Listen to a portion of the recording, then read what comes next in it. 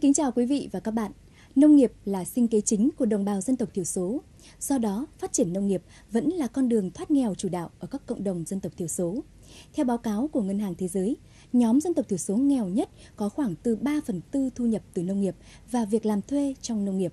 Vậy đồng bào dân tộc thiểu số cần phải làm gì để nông nghiệp có thể trở thành sinh kế bền vững? Đây là nội dung chính trong chương trình Hội nhập và phát triển lần này. Trong chương trình ngày hôm nay, chúng tôi sẽ gửi tới quý vị và các bạn dự án sinh kế bền vững cho thanh niên dân tộc thiểu số các huyện miền Tây Nghệ An do Liên minh Hợp tác xã tỉnh Nghệ An tổ chức triển khai với sự giúp đỡ của tổ chức Action và Ủy ban dân tộc đã định hướng nghề nghiệp, nâng cao năng lực cho thanh niên, tạo công an việc làm bền vững cho thanh niên ngay tại địa phương. Trao đổi với đại diện Action về bài học kinh nghiệm rút ra từ dự án sinh kế bền vững cho thanh niên dân tộc thiểu số Nghệ An. Trong phần cuối của chương trình, mời quý vị và các bạn cùng làm quen với một chuyên gia người Nhật. Bà đã tận tình hướng dẫn người dân địa phương thực hiện những dự án cải thiện sinh kế và môi trường sống cho người dân ở miền núi Quảng Nam. Thưa quý vị và các bạn, tại Việt Nam, với tỷ lệ hơn 90% người nghèo sinh sống ở khu vực nông thôn hẻo lánh, nông nghiệp và sinh kế bền vững thực sự đóng một vai trò quan trọng với hoạt động xóa đói giảm nghèo. Tuy nhiên lâu nay, thói quen canh tác của người nông dân chỉ là có gì nuôi nấy, có gì trồng nấy và hầu như chưa áp dụng tiến bộ khoa học kỹ thuật trong quá trình canh tác. Do vậy, sản phẩm làm ra có giá trị thấp và nhiều khi ế thừa do không đạt tiêu chuẩn của nhà thu mua. Trước thực tế này, Liên minh Hợp tác xã tỉnh Nghệ An cùng với sự giúp đỡ của tổ chức Action S và Ủy ban dân tộc đã thực hiện dự án sinh kế bền vững cho thanh niên dân tộc thiểu số các huyện miền Tây Nghệ An Dự án đã giúp người dân làm quen với phương thức sản xuất mới, thay đổi cơ cấu cây trồng, con vật nuôi theo hướng đáp ứng yêu cầu của thị trường, tạo công an việc làm bền vững cho thanh niên ngay tại địa phương. Đất Quỳ Châu, Nghệ An phù hợp để trồng dễ hương. Cũng như nhiều gia đình khác trong bản Húa Na, gia đình chị Nga đã thử tận dụng thế mạnh này để phát triển kinh tế. Nhưng việc trồng tự phát nhỏ lẻ khiến chị từng thất bại không ít lần. Sau khi được hỗ trợ tập huấn về kỹ thuật trồng cây dễ hương, chị Nga đã có thêm kiến thức để đầu tư và trồng loại cây này. Đến nay, gia đình chị Nga đã có một hecta vườn cây dễ hương làm nguyên liệu sản xuất hương trầm, mang thương hiệu Quỳ Châu. Lúc đầu thì cũng chưa có kinh nghiệm, nhưng sau đó được ờ, ban chấp hành huyền đoàn phối hợp với các ban ngành khác đã mở lớp tập huấn trồng dễ hương thì em với là bố mẹ về ba con ở đây thì đã tham gia cái lớp tập huấn đó và đã học hỏi được thêm nhiều kinh nghiệm và về mở rộng thêm và đến bây giờ thì ờ, nguồn ờ, rễ hương nhà em thì ờ, đã tự phục vụ cho gia đình. Và cái mong muốn của em á, là em đã muốn cho tất cả các thanh niên ở địa bàn huyện Quỳ Châu học hỏi cái mô hình của em. Và em sẽ hỗ trợ giống với 30% tiền giống để mà mọi người có thể có cái vốn đầu tư ban đầu. Và sau đó thì em có thể thu mua để mà ừ, bán cho các những hộ gia đình mà làm hương cũng được hỗ trợ về kiến thức khoa học kỹ thuật và nguồn giống, đoàn viên Lang Văn Mão ở bản Tục, xã Đồng Văn, huyện Quế Phong đã đầu tư nuôi cá lồng trên lòng hồ thủy điện Hùa Na. Những ngày đầu do chưa có kinh nghiệm, cộng với khí hậu thời tiết bất thường, một số giống cá bị chết khiến anh Mão gặp không ít khó khăn. Tuy nhiên được sự hỗ trợ của dự án với quyết tâm vượt khó làm giàu, đến nay 12 lồng cá của anh Mão trừ chi phí mỗi tháng cũng thu về từ 5 đến 6 triệu đồng có cái dự án hỗ trợ của huyện, thì em được hỗ trợ à, 12 ô lông đi vừa rồi đi, là em cũng có suốt được khoảng à, tấn rưỡi, cả cá lăng, cá leo với à, cá rô phi với cả tám cỏ mà tới đi em đang chuẩn bị mua thêm, với lại làm thêm khoảng năm sáu ô lồng nữa. Qua các đợt tập huấn trong khuôn khổ dự án sinh kế bền vững cho thanh niên dân tộc thiểu số, các huyện miền Tây Nghệ An, các học viên đã thay đổi tư duy, nhận thức trong sản xuất kinh doanh. Nhiều thanh niên đã có việc làm ngay tại địa phương với mức thu nhập bình quân từ 3 đến 4 triệu đồng một tháng. Đối với địa bàn xã Đông Văn thì cũng là có cái lông hồ thì cũng được hỗ trợ thì dựa vào cái điều kiện thực tế và cùng cách làm ăn thì trong đó có đồng chí Mào là một trong những cái đoàn viên mà tiêu biểu để mà thực hiện cái chương trình ở lông này thì bên cạnh là được cái hỗ trợ của chương trình dự án ừ, tiếp tục đầu tư thêm và không như những khi chương trình dự án kết thúc là đồng chí Mào thôi, mà đồng chí Mào vẫn tiếp tục đầu tư thêm cái con giống từ liên hệ với các cái ờ, đơn vị cung ứng giống ở ngoài địa bàn để cung ứng các cái loài cá để tiếp tục thực hiện cái mô hình. Hiện tại thì trên địa bàn thì đã có Ờ, các mô hình là phát huy được hiệu quả. Thứ nhất là về cái mô hình cá lồng, thứ hai là về chanh leo và thứ ba là các mô hình về rau sạch và vườn ao chuồng. Các đồng chí đã nắm được các quy trình, các bước cụ thể để tổ chức sản xuất và bước đầu đã đem lại hiệu quả nhất định và là đã có cái ờ, sản phẩm đã có cái đầu ra về ừ, phục vụ cho cái phát triển kinh tế của bản thân và gia đình. Một điều quý giá mà nhiều thanh niên học được từ dự án lần này đó là khởi nghiệp từ trên chính mảnh đất địa phương mình là hướng đi đúng đắn, cần thiết và bền vững. Tuy nhiên, hoạt động sản xuất kinh doanh phải dựa vào lợi thế sẵn có của địa phương và phải tìm hiểu kỹ lưỡng về thị trường để từ đó xây dựng kế hoạch cụ thể phù hợp. Thưa quý vị và các bạn, đa số các hộ nông dân, nhất là ở miền núi, vùng đồng bào dân tộc thiểu số, thiếu vốn, thiếu kiến thức kinh doanh, thiếu khả năng dự báo, tiếp cận với thị trường, nhất là thị trường quốc tế. Vì thế, họ thường xuyên phải đối mặt với rủi ro trong kinh doanh mà nguyên nhân chủ yếu là thiên tai, dịch bệnh và sự thay đổi thường xuyên của thị trường.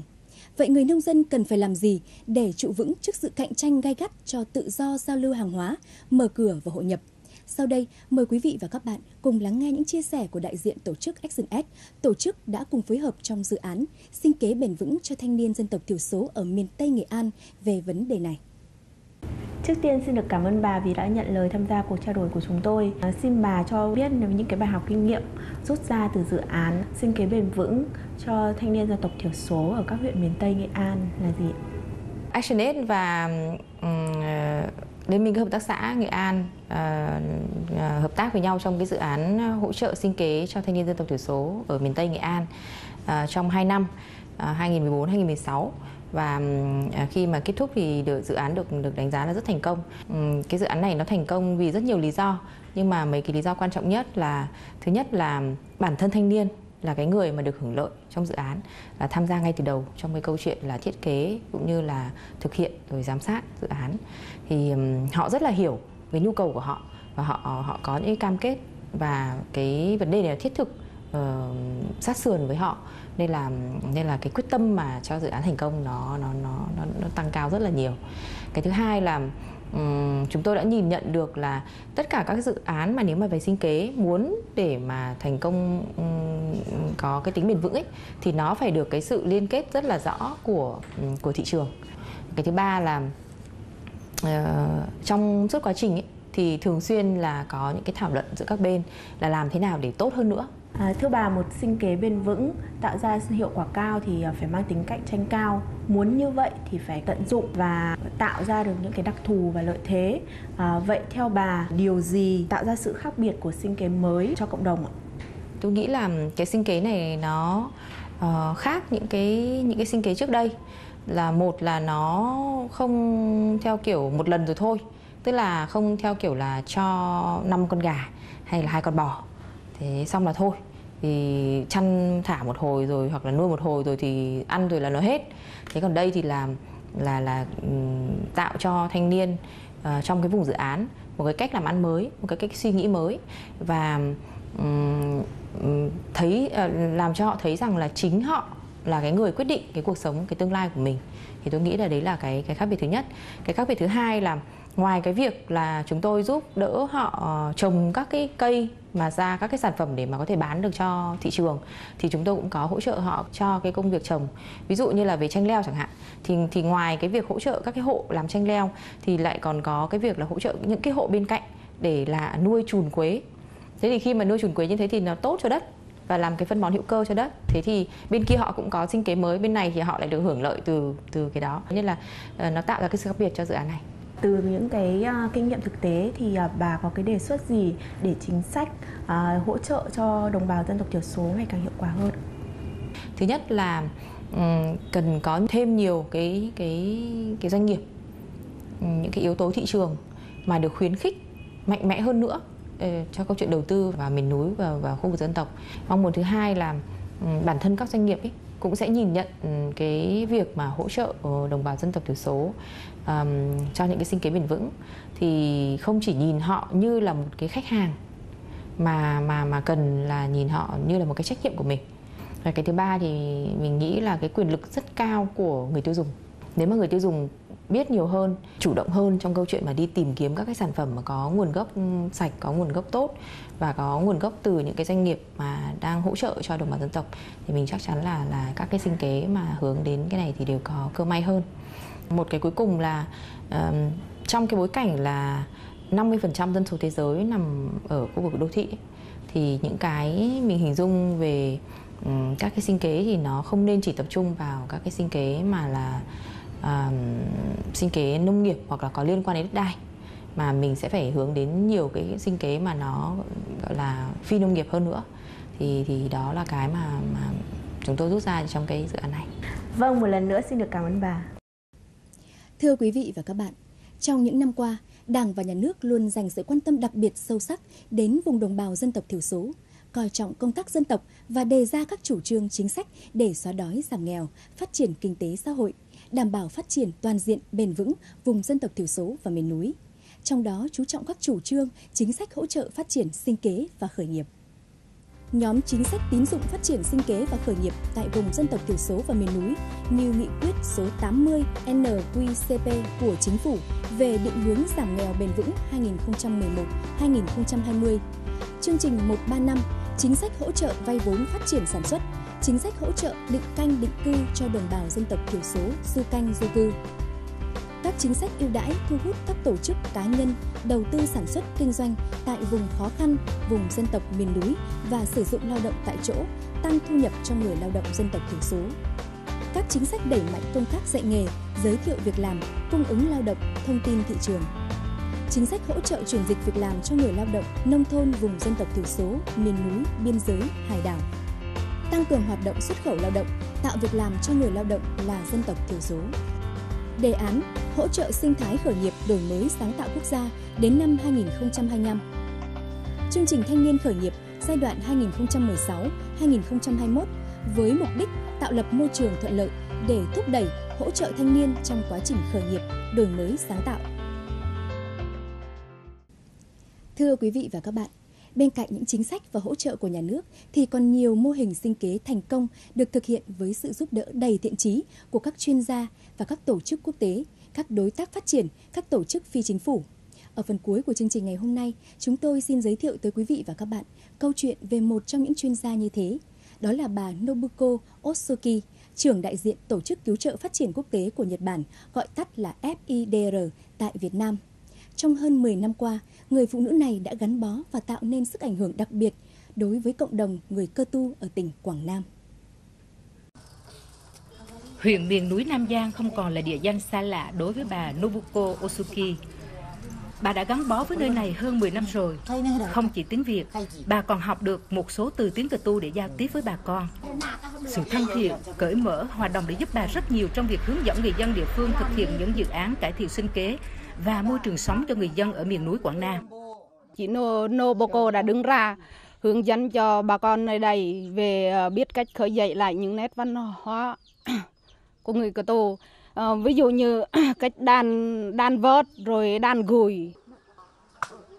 Bà Nobuko đã dành hầu hết thời gian trong tuần cho việc đi khảo sát thực tế,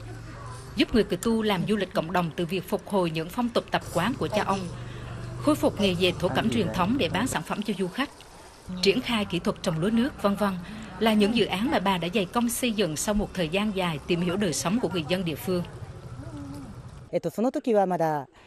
Khi làm dự án phát triển cộng đồng, tôi chỉ nghĩ đơn giản là muốn giúp những người dân vùng nghèo khó. Nhưng khi gắn bó rồi, tôi lại thấy đồng bào ở đây có những nét đẹp văn hóa truyền thống rất đặc trưng.